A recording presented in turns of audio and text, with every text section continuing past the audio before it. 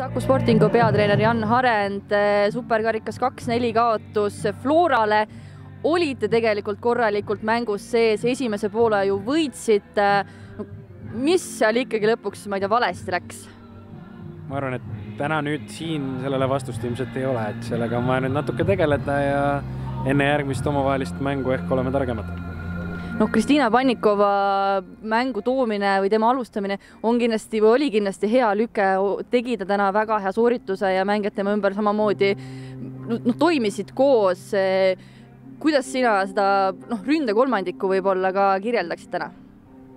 noh, natuke ikkagi kaootiline, et ega me, me saime sinna ikkagi minu jaoks liiga vähe selle koha pealt, et anda mingisugust hinnangut, aga aga üleüldiselt see, mis meil täna nagu anti või mis meil võimalus kasutada oli, seda me tegime esimesel poolajal okeilt, ehk siis, et kiirrünnakud olid nagu, olid, olid head ja pigem, pigem efektiivsed.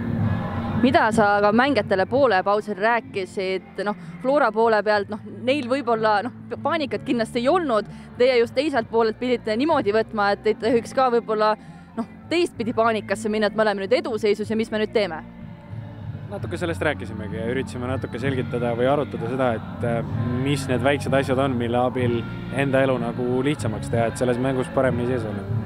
aga jah, nagu ma ütlesin, et tuleb, tuleb vaadata, mis siis täpsemalt ikkagi nüüd läks. aga sellest ei lase kindlasti ennast heidutada ja hooajal panete Flora kotti ära küll no me mängime juba nii palju kordi sel aastal veel, et ma arvan, et meil on nagu selles mõttes hästi, et tegelikult tuleb ju teistpidi võttes oli väga äge mäng, et ei ole ju, kui teine poolaeg, ütleme, oleks meie poolt kraadi võrra olnud nagu tõsiseltvõetavam, siis, siis võiks ju tegelikult rääkida nagu ühest väga vingest jalgpallimängust, millega jalgpallihooaeg avada. olgu nii, aitäh sulle edu!